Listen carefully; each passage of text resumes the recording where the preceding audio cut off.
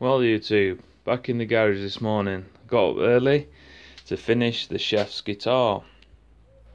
Yeah, there's one string missing. These uh, Orphee strings are really short. The crap. the crap for this anyway. Um, so I've got the G string on and the G string higher octave on I'm missing um, the D, well, what I'll tune into a D string.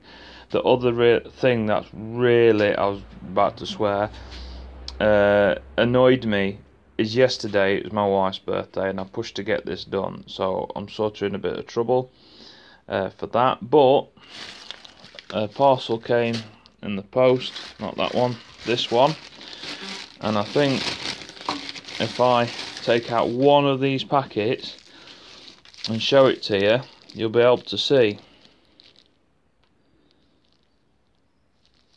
Can you see? No? I'll tell you.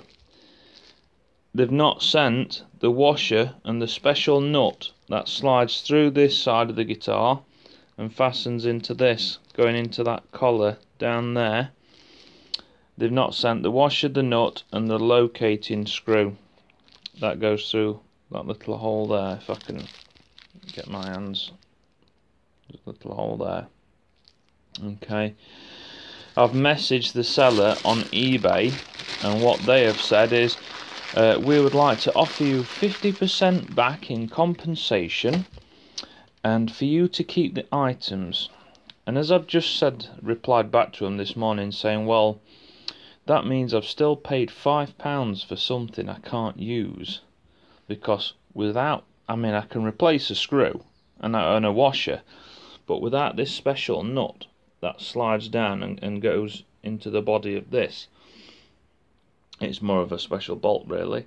They're completely useless. So that means I've paid £5 for something I can't use.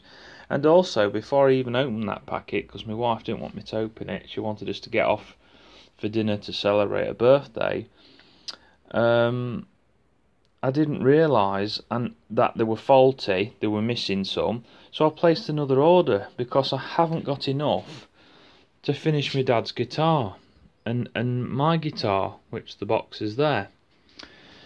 So now I've I've messaged them saying um, if you can't sort this out by just sending me the the bolts that I need and the washer and the screw, then you might as well cancel me other order because it's it's just under 10 quid.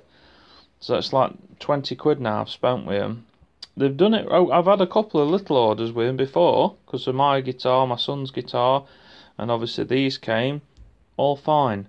It's just this one uh, an order of just under 10 pound and it's not right. It's just like someone who must have just slung them into a bag because they could they should have come up bagged up. So that little bag I showed you all the others came in a bigger bag like this and in the bigger bag was the bolt washer and the little screw. This is what came with a, a piezo pickup but it had another bag like that. So what's in here is the studs so I can put slings on the guitar. So what I'll do is put one in there on on uh, the guitar I was given, I did two, one there, one there, and had a string. But what I might do is one stud there, strap around, and then tie it to the neck there. I think that'll be a lot better. So.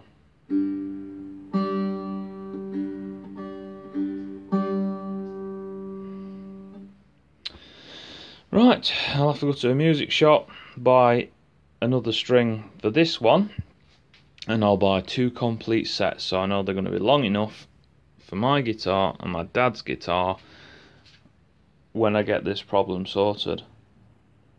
So this is delay is could delay me months because these come from China, and I have to wait you know a month, two months for these. So if I don't get this problem sorted, I'm gonna have to pay out and get some more expensive ones to finish these two guitars. So it's a real kick in the guts. Or kick somewhere else. but other than that, you know, I'm quite happy with it. Um, other than strings and most importantly, machine heads not being complete. So I'm gutted because I wanted to give this chef today and now I can't. And I don't know when I'll be able to get to the music shop. So, right, I've got to sign off now. Got to uh, get ready for work. Bye for now.